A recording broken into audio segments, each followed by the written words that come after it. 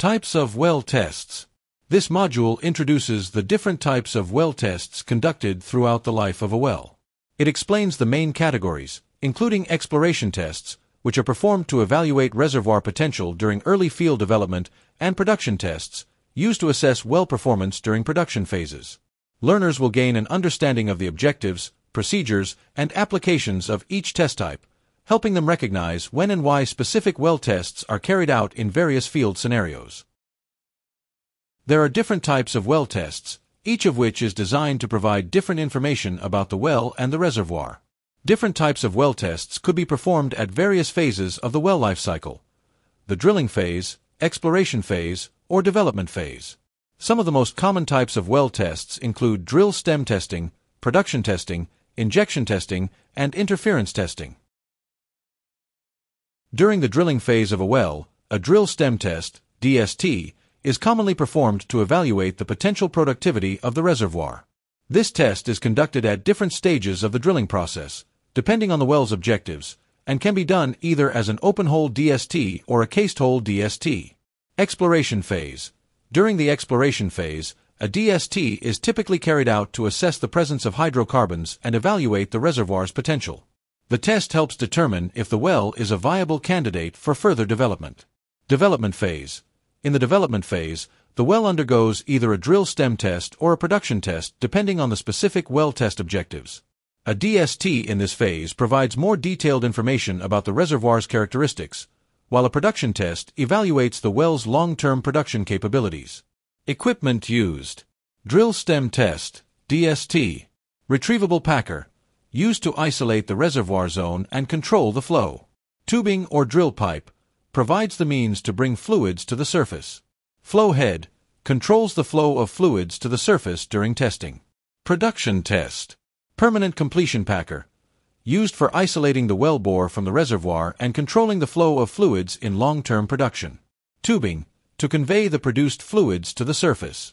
Christmas tree, a series of valves and fittings used to control the flow of fluids from the well. Exploration tests. Drill stem tests, DST, are generally conducted during the drilling process to evaluate the potential productivity of a well. The primary functions of DSTs, whether conducted in open hole or cased hole, are to isolate the target zone, control the well flow, convey fluids to the surface, and acquire downhole data. A specialized tool, called a drill stem test tool, is lowered into the well to measure pressure and fluid flow. Open hole DST and cased hole DST are key well testing methods used to assess reservoir properties during different stages of drilling and completion. Each test provides crucial insights into the presence and quality of hydrocarbons and helps in making decisions regarding future production operations.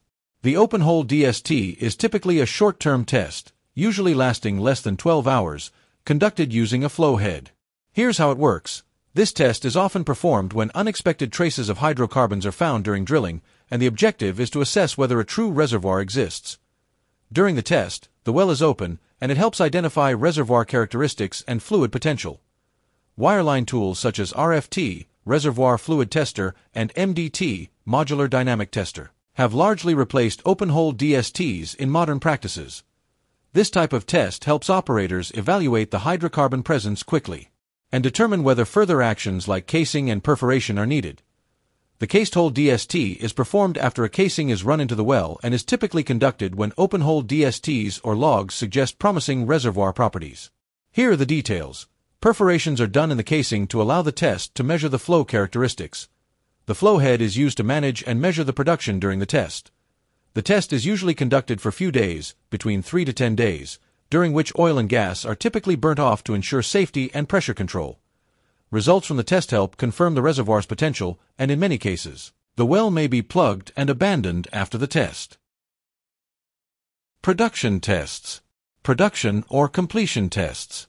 These types of tests are conducted after a well has been completed and is producing oil or gas, and they are done sometimes with a rig still present. This type of testing involves measuring the flow rate, pressure, and composition of the fluid produced by the well.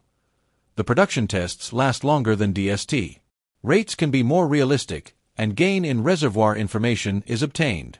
Christmas tree, permanent completion, packer, SSD, and nipples are typically used during the test. These tests offer detailed insight into well performance and help evaluate production potential over a longer time frame. Reservoir limit tests. Reservoir limit tests are extended duration tests, typically lasting 1 to 4 weeks, that are designed to determine the extent of the reservoir. The main objectives of these tests are to assess reservoir boundaries and understand fluid behavior over an extended period and to evaluate production sustainability and reservoir pressure dynamics. Interference or pulse tests. Interference or pulse tests are used to establish communication between two or more wells in a reservoir and to determine inter-well reservoir parameters. This type of testing involves measuring the pressure and flow rate in one well while another well is producing or injecting fluids. Generally, one well shut in, the observer, with bottom hole gauges, and another well flowing, with the surface well testing set up. Interference tests are typically short term, usually lasting less than 12 hours, and provide quick results that help assess reservoir behavior in response to fluid movement between wells. Injection tests. These types of tests are used to evaluate the productivity of injection wells, which are used to inject fluids such as water or gas into a reservoir to enhance oil recovery. These tests involve measuring the injection rate and pressure, as well as the resulting increase in production. Extended well tests. Extended well tests are long-term evaluations that can last from a few weeks to several months. These tests utilize part of an early production facility or early production services setup, and they provide a comprehensive evaluation of complex reservoirs, helping operators assess long-term production potential and support decision-making for future field development, ensuring that the reservoir can be effectively managed and optimized. Early Production Facilities, EPF, and Early Production Services, EPS. Early production facilities and early production services play a crucial role in maximizing asset value and accelerating production timelines. These temporary installations are designed to bring oil or gas production online quickly, even before permanent facilities are completed.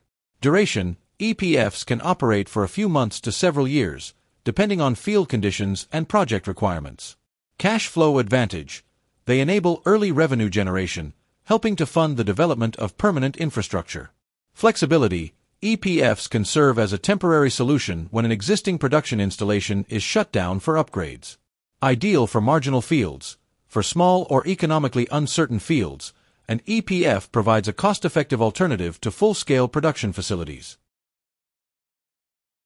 Thanks so much for watching. That wraps up today's presentation. If you enjoyed it, don't forget to like and subscribe. It really helps us keep creating more content like this. See you in the next video.